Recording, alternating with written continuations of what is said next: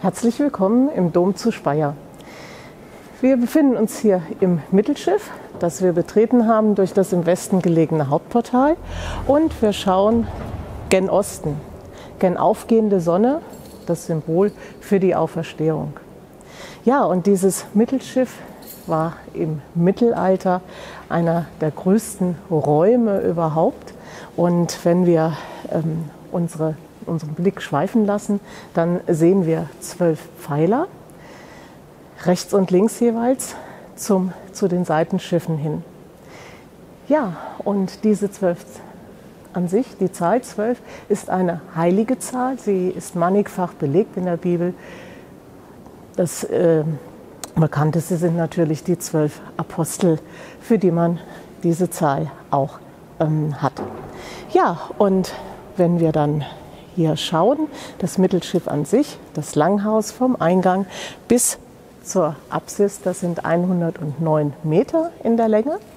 Die Höhe des Mittelschiffs beträgt 33 Meter und die Breite 14 Meter. Ursprünglich war dieses Mittelschiff auch nicht überwölbt, wie wir es heute sehen, sondern es hatte entweder eine flache Balkendecke oder vielleicht auch einen offenen Dachstuhl, wie es viele norditalienische Kirchen auch hatten zu dieser Zeit.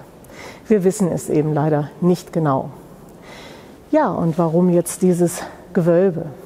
Es ist so, um, Heinrich IV., als er dann nach seinem Gang nach Canossa wieder in die Kirche aufgenommen war, kehrte er um 1080 81 wieder hier nach Speyer zurück und hat diesen Dom in großen Teilen umbauen lassen, prächtiger gestalten lassen. Er wollte sicherlich auch seine neu gewonnene Herrschaft noch mal unterstützen durch diesen prächtigen Ausbau.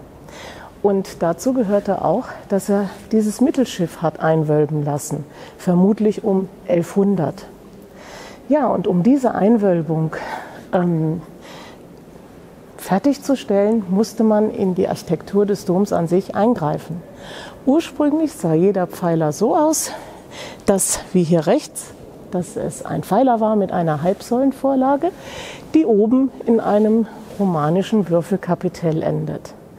Ja, aber jeder zweite Pfeiler sieht nicht mehr so aus. Er hat eine Vorlage, eine Rechteckvorlage mit einer Halbsäulenvorlage, die oben in einem korinthischen Kapitell endet. Und wenn man hochschaut, sieht man, dass auf diesem korinthischen Kapitell der eigentliche Gurtbogen aufliegt, der die Gewölbekappe hält. Man musste also tatsächlich, um dieses Gewölbe zum Halten zu bringen, den Schub auffangen zu können, jeden zweiten Pfeiler verstärken und diesen Gurtbogen dort auflegen. Wenn man dann in die Seitenschiffe hineinschaut, sieht man, dass jeder Gewölbekappe im Mittelschiff zwei im Seitenschiff entsprechen. Das ist das sogenannte gebundene System, was man hier in Speyer das erste Mal in dieser Form so ausgeführt hat.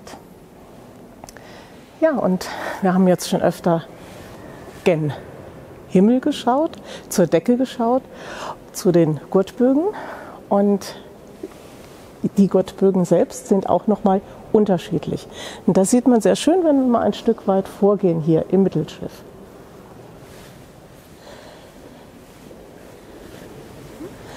Ja, wir befinden uns jetzt hier im Königschor am Ende des Mittelschiffs, sind diesen Treppenaufgang hinaufgegangen und von hier oben aus kann ich Ihnen noch mal viel genauer erklären, wie sich das mit Gottbögen und Gewölbe verhält. Als Normalbesucher des Doms kommt man hier nicht ähm, hoch. Das ist hier der Bereich eigentlich, der den Geistlichen vorbehalten ist.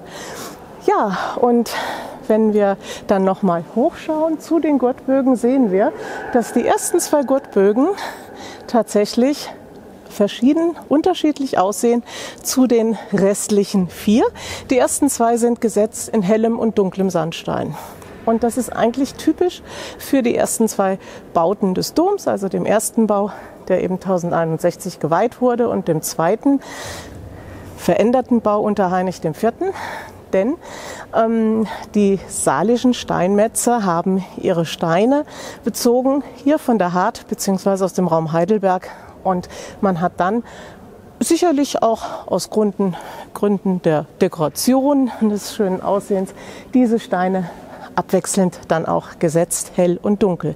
Aber ab dem dritten Gurtbogen fällt Ihnen auf, dass dieser Gurtbogen einheitlich in dunklem roten Sandstein gefasst ist, wie die übrigen auch Richtung Westportal.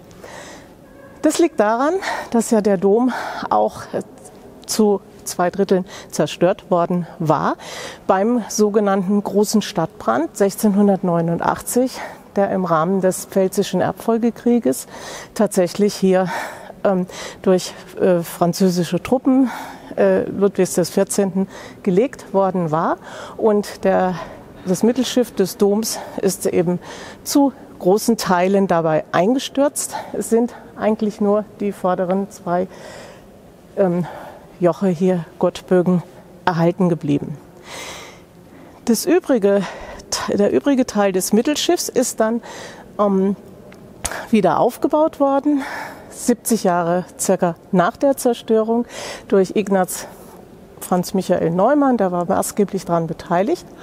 Und da hat man dann die Steine nicht aus diesen Steinbrüchen bezogen, aus denen die salischen Baumeister sie hatten, sondern aus dem Raum Bruchsal. Dort ist der Stein eher dunkelrot, daher eben dann auch diese Unterschiede in der Farbgebung. So sehen wir dann auch hier im Dom, man sieht es ja auch außen an den äh, Mauern, bis wohin tatsächlich dieser ähm, Bau stehen geblieben war und wo dann der Stadtbrand ähm, den Dom zerstört hat. Ja, wir stehen jetzt hier an der Vierung. Die Vierung quasi das Ende des Mittelschiffs oder das Mittelschiff leitet in diese Vierung über. An, sie, an die Vierung anschließend das Querhaus, was die Kreuzform des Doms dann auch wiedergibt. Und diese Vierung ist das siebte Gewölbe. Und sie steht, dieses siebte Gewölbe steht für den siebten Tag der Woche, der Tag, der Sonntag, an dem geruht wurde. Und hier ist dann auch der Bischofsaltar bzw. Hauptaltar ähm, an diesem siebten Tag des Herrn.